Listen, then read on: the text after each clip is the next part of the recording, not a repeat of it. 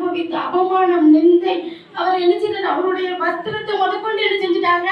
சீட்டு போட்டு எல்லாரும் எடுத்துக்கிட்டாங்க. அவர் அவமானத்தின் சின்னமாய் எல்லாவற்றையும் விட்டு கூட என்ன செய்கிறாரு? பிதாவே இவர்களையும் மன்னியும் என்று சொல்லுகிறார். தேவாதி தேவன் என்ன சொல்லுகிறாரா? எல்லா மனிதனையும் மன்னிக்கிற வல்லமை அவரிடத்துல உண்டு. அதனால தான் அவர் என்ன சொல்லுகிறார்? பிதாவே அவருடைய தகப்பன் ஒரு நிமிடம் கண்ணு வச்சு பார்த்தாருன்னா நம்ம என்ன செஞ்சிருவோம்? அழிந்து போய் விடுவோம் என்கிற எண்ணத்தினாலதான் ஆண்டவர் என்ன சொல்லுறாரு பிதாவே இவர்களை நீங்க என்ன செஞ்சிடாதீங்க கண்டிச்சிடாதீங்க அவர்கள் செய்கிறது என்னது அறியாமல் செய்கிறாங்க நான் என்ன என்னை இவ்வளவு அவமானப்படுத்துகிறது நிந்திக்கிறது? எல்லாமே அவர்களுக்கு என்ன செய்யல? தப்புன்னே தோணல. ஏன்னா அவர்களுக்கு என்ன செய்யல? அந்த பரபாசை விடுவிக்கிறது இந்த இயேசுவை அடி சிலுவையில் அடித்து அவரை கொல்லணுங்கிற எண்ணம் மாத்திரம் தான் அந்த ஜனங்களுக்குள்ள இருந்துச்சு. அவர் அவ்வளவுக்குள்ள அவர் அவரோடு கூட அற்புதத்தை கண்டவங்க அவரோடு சாப்பிட்டவங்க அவரோடு கூட நடந்தவங்க அவர் என்ன செஞ்சார்? முப்பத்தி மூணு வருடங்கள் அலைந்து திரியும் போது அவரோடு கூட அலைந்து திரிந்த அத்தனை ஜனங்களும் தான் என்ன செஞ்சாங்க அவரை சிலுவையில் அறையும் அறையும் என்று சொன்னாங்க அவரை அவமானப்படுத்தினார்கள் அவரை காரி துப்பினார்கள் என்ன செஞ்சாங்க எல்லாவற்றையும் ஆண்டவர் அனுமதித்தார் அனுமதித்து கடைசி என்ன செய்கிறாரு அவர் சிலுவையிலே தொங்கும் போது முதல் முதலாய் அவர் பேசுகிறார் அவர் முதல் முதலாய் பேசுகிற வார்த்தை என்னன்னா அவர்களை மன்னிங்கப்பா. அவங்களை நீங்க தண்டிச்சிடாதீங்க. அவர்களை மீட்கும்படியாகத்தான் நான் இந்த உலகத்துக்கு என்ன செஞ்சேன்? நான் வந்தேன் என்று சொல்லுகிறார். அலையோயா பிதாவே இவர்களை மன்னியும் அவர்கள் செய்கிறது இன்னதென்று அறியாதிருக்கிறார்கள் என்று சொன்னார். அலையிலுயா. தேவனாகிய கர்த்தர் நம்மளை மன்னிக்கிற இருதயம் அவருக்கு அந்த நிலைமையில வந்தது. அவர் என்ன செய்யறாரு மன்னித்து அவரை பிதா அவர் அந்த அவமானத்தை சகித்து பிதாவினிடத்தில் அவர் என்ன செய்யறாரு நமக்காக வேண்டுதல் செய்கிறவராய் இருக்கிறார். அலேலுயா அதே போல நம்முடைய வாழ்க்கையிலும் தேவனிடத்துல எப்பொழுது நம்ம என்ன செய்யணுமா? என்ன நிலைமையில நாம் இருப்போமானாலும் கூட மற்றவர்களை மன்னிக்கிற இருதயம் நமக்கு வேண்டும். அலேலுயா அதைத்தான் தேவனாகிய கர்த்தர் நமக்கு கற்றுக் கொடுத்திருக்கிறார். ஆதி ஆகமம் பதினெட்டுல இருபத்தி மூணு. அப்பொழுது ஆபிரகாம் சபிமாய் சேர்ந்து துன்மார்க்கருடனே நீதிமானையும் அனுப்பீரோ என்று சொல்லுகிறார். அந்த சேதகுமரா பட்டணத்தை என்ன சொல்லி பாவம் பெருகி விட்டது அந்த பாவம் பெருகினது நிமித்தம் அந்த தேசத்தை அழிப்பதற்காக ஒரு தூதன் வந்திருக்கிறார். அந்த தூதனிடத்தில் ஆபிரகாம் வேண்டுகிறார். பாவையோடு நீதிமானையும் நீர் அழிப்பீரோ என்று சொல்லி அவர் வேண்டுகிறார். அவர் என்ன செய்கிறார்? வேண்டுதல் செய்கிறவராய் மறுபடியும் ஒரு பத்து நீதிமான் இருந்து அந்த தேசத்தை அழைப்பீரோ ஐம்பது நீதிமான் இருந்தால் அந்த தேசத்தை அழைப்பீரோ என்று சொல்லி அவர் மறுபடியும் மறுபடியும் வேண்டுதல் செய்கிறவராய் இருக்கிறார் ஆபிரகாம் விசுவாசத்தின் தந்தை என்று சொல்லப்பட்டிருக்கிறது. தேவாதி தேவன் நம்மிடத்தில் என்ன செய்கிறாரா? அவர் மன்னிக்கிறவராய் இருக்கிறார் அதே போல நம்மளுக்காக வேண்டுதல் பிதாவினிடத்தில் வேண்டுதல் செய்கிறவராக இருக்கிறார். அதே போலதான் தேவனாகிய கர்த்தரின் மடியிலே ஆபிரகாம் என்ன சொல்லுகிறார்? அவர் என்ன செய்கிறாரு வேண்டுதல் செய்கிறவராய் இருக்கிறார் அவர் நீதிமான துன்மார்க்கனோடு நீதிமானையும் நீர் அனுப்பீரோ என்று சொல்லி அவர் வேண்டுகிறார். அதே போல நம்முடைய வாழ்க்கையிலும் துன்மார்க்கமான மனிதர்கள் ஆயிரம் பேர் இருந்தாலும் அதுல ஒரு நீதிமான் கூட என்ன செய்யக்கூடாது? அழிக்கப்படக்கூடாது என்கிற எண்ணமும் உணர்வும் நமக்குள்ள இருக்குமானால் தேவன் நம்மளை ஆசீர்வதிப்பார். யாத்ராகமம் முப்பத்தி ரெண்டு ஒன்பது பின்னும் கர்த்தர் மோசையை நோக்கி இந்த ஜனங்களை பார்த்து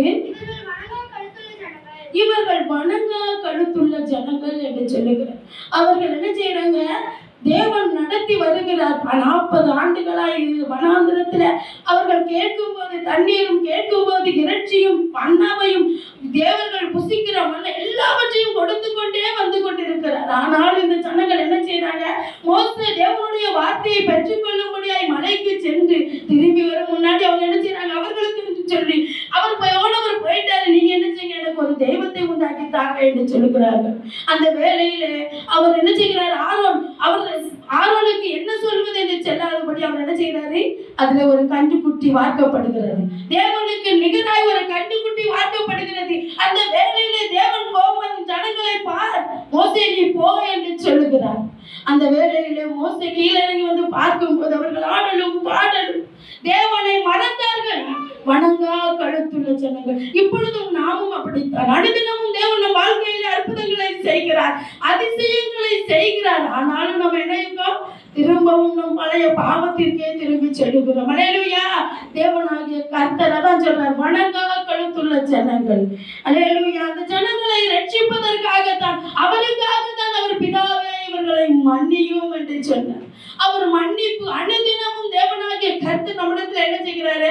மன்னிப்பை விரும்புகிறார். ஆனாலும் அந்த ஜனங்கள் என்ன செய்ய மாட்டேங்காங்க திருந்த மாட்டேங்காங்க தேவனாகிய கருத்து அதுல பத்து. பத்து ஒன்பது பத்து. ஆகையால் என் கோபம் இவர்கள் மேல் மூலவும் அவர் ஆகையால் என் கோபம் அவர்கள் மேல் மூலவும் நான் இவர்களை அழித்து போடவும் நான் அவர்களை அழித்து போடவும். நீர் என்னை விட்டுவிடும். நீர் என்னை விட்டு விடு யார்கிட்ட ஆண்டவர் கேட்கிறாரு? மோசைட்ட கேட்கிறாரு நான் இனிமே இவங்களுடைய பாவத்தை மன்னிக்க மாட்டேன். இவர்கள் செய்கிற அக்கிரமங்கள் அதிகமாய் போனது படிக்கிறார் நான் அவர்களை அழித்து போகிட போகிறேன். என்ன செஞ்சிரு? என்னை விட்டு விடு என்று சொன்னார். அப்பொழுதுதான் திரும்பியும் மோசை மறுபடியும் அதுல முப்பத்தொன்னு. அப்படியே மோசே கர்த்தரிடத்திற்கு திரும்பி போய். அப்ப- அப்படியே கர்த்தரிடத்துல திரும்பி போய். ஐயோ ஐயோ. ஜனங்கள் கொஞ்ச நாள் தங்களுக்கு தெய்வங்களை உண்டாக்கி கொஞ்ச கொஞ்ச நாள் இந்த தேவங்களை உண்டாக்கி மகா பெரிய பாவம் செய்திருக்கிறார்கள். மகா பெரிய பாவம் செய்து விட்டார்கள். ஆகிலும் தேவரீர் அவர்கள் பாவத்தை மன்ன மன்னித்தருளுவீரானால் தேவரீர் அவர்களுடைய பாவத்தை மன்னித்தருளுவீரானால் மன்னித்தருளும். மன்னித்தருளும். இல்லாவிட்டால் நீர் எழுதின நீர் எழுதின உம்முடைய புஸ்தகத்திலிருந்து உம்முடைய புஸ்தகத்திலிருந்து என் கிறுக்கி போடும் பேரை கிரைக்கு போடும் என்று சொன்ன மோசே கனமான ஊழியக்காரன். அவன் எங்கும் பொறுமையுள்ளவன் என்று சொல்லப்பட்டிருக்கிறது. மோசையை போல அழைக்கப்படாதபடி ஒருவனும் ஊழியத்தை செய்ய முடியாது என்று சொல்லப்பட்டிருக்கிறது. அந்த மோசையின் பேர் என்ன சொல்றாரு அவரு? இந்த ஜனங்களை நீங்க அழைச்சிடாதீங்கப்பா. அதற்காக என் பேரை வேணும் உங்களுடைய ஜீவ புஸ்தகத்துல இருந்து கிறுக்கி போடுங்க என்று சொல்லுங்க மற்றவர்களுக்காக வேண்டுதல் செய்கிற இருதயம் அந்த மோசைக்கு இருந்தது.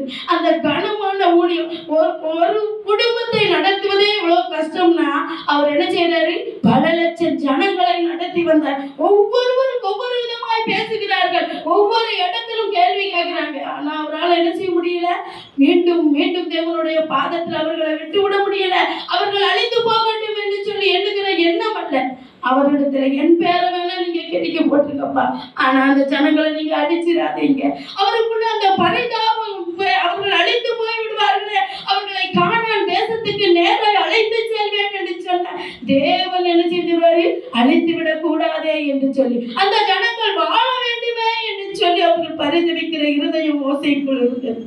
அதே போல நம்முடைய வாழ்க்கையிலும் அவர்கள் மற்றவர்களுக்காக நம் அனுதினமும் செபிக்கிறவர்கள் நமக்காக இல்லை நம்முடைய பேருக்காக இல்லை. மற்றவர்களுக்காக வேண்டுதல் செய்கிற இருதயம் நமக்கு வேணும் என்று தான் ஆண்டவர் சொல்கிறார். பிதாவே இவர்களை மன்னியும் என்று சொல்லுகிறார். தானியல் ஒன்பதுல பதினேழு.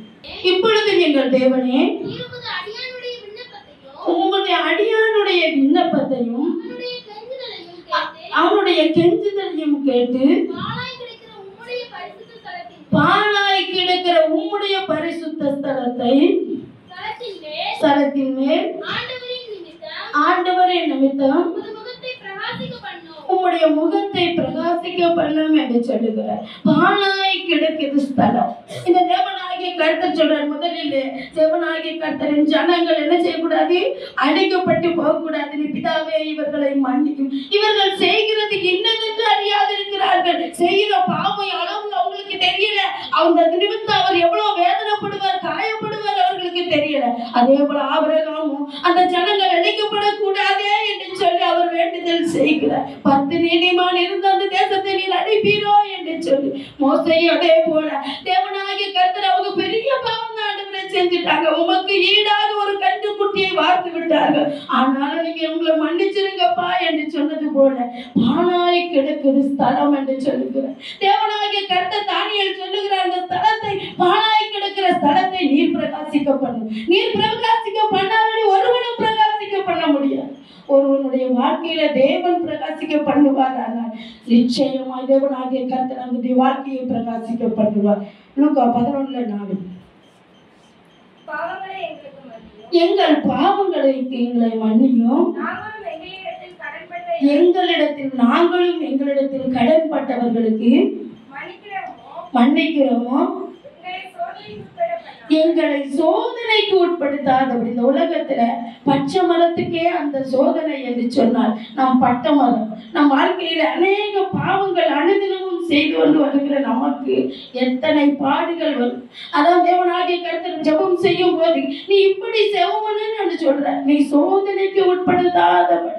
நீ மற்றவர்களுடைய கடனுக்கு நீ இறங்குகிறது போல உனக்கும் சோதனை வரும். என் வாழ்க்கையில வந்து அவர் எந்த விதத்திலும் பாவம் செய்யாத தகப்பன். அவருக்கு அத்தனை சோதனை வருமானால் நம்ம பாவி அனுதினமும் ஒவ்வொரு காரியங்களுக்கு எத்தனை பை சொல்றோம் எத்தனை காரியங்களை மாற்றோம் நமக்கு எத்தனை சோதனைகள் வரும்? அந்த சோதனையிலிருந்து என்னை ரட்சித்துக் கொள்ளும் என்று சொல்லி நம் அனுதினமும் செபிக்கும் செபிக்கிறவர்களாய் மாற வேண்டும். அல்லேலூயா தேவனாகிய கர்த்தருடைய பாதத்தில் நமக்காக நம்முடைய குடும்பத்திற்காக அல்ல மற்றவர்களுக்காக நாம் ஜெபிக்கும் போது தேவனாகிய கர்த்தர் நம் குடும்பத்தை ரட்சித்து நம்மளையும் பாதுகாத்து மற்றவர்களுக்காக பிதாவே இவர்களை மன்னியும் என்று சொல்லி மற்றவர்களுக்காக தேவன் நமக்காக எல்லா ஜனங்களும் அழிக்கப்பட்டு போகக்கூடாது என்கிற ஒரே நோக்கத்தோடு மோசி தன் பேரத்தை கூட அழைச்சிருட்டும் என்று சொன்னாரு. அதே போல உங்களுடைய வாழ்க்கையிலும் என்னுடைய வாழ்க்கையிலும் நம்ம மற்றவர்களுக்காக ஜெபிக்கிறவர்களாய் கண்ணீர் வடிக்கிறவர்களாய் துன்பப்படுகிறவர்களாய் நாம் இருக்கும்போது தேவன் நம்முடைய வாழ்க்கையிலே நம்மளை பிரகாசிக்க பண்ணுவார். கர்த்தர் தாமே இந்த வார்த்தையை ஆசீர்வதிப்பாராங்க